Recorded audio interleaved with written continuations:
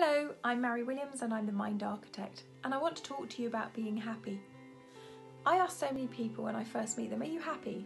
And most often they'll say, Yeah, I'm okay. But okay isn't happy, okay is okay.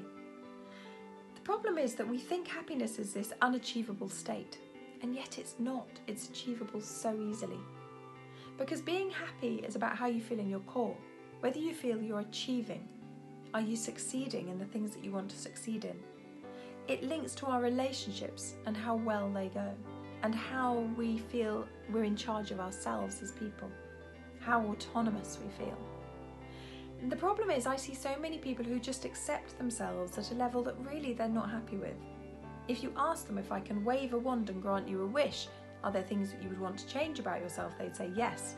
But because they believe that they need magic to make that change, then they say, Yeah, I'm happy, this is where I am. But I'm here to tell you, you can wave that wand and you can be so much happier than you are now. Now, it might just be one area of your life, or it might be all areas of your life, but you can change and truly become different. When I was younger, I was so different to who I was now.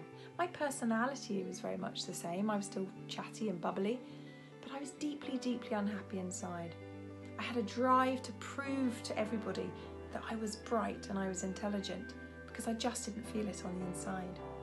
I was always driven through anger in, to respond because I didn't know how to respond in any other way. I had so much about my life that just wasn't going the way I wanted it.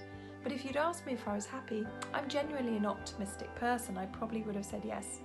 And it was only going through the deep therapeutic work that I did that I realised I wasn't happy.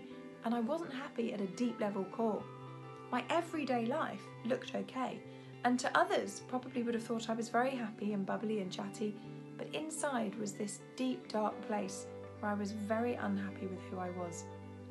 And I've completely changed that now, and I now truly love my life. Even in the challenging situations I go through, even in COVID, even when things affect my business and my family, I can bounce back because I truly have self worth and truly am appreciative of the, the life that I have. And this is what I want for you. I want you to be able to look at the life you have, even when you're in the most challenging situations, and to say, actually, I'm happy. I know I have the inner resources and capabilities to deal with this. I know this will pass. So please stop thinking that who you are has to be who you are. And if you don't like something about yourself or your life, or just an understanding of the world around you, if you have a negative outlook, please come and see me and let's get you happy and to a place where you can create the change that you want to see in your life forever. Thank you.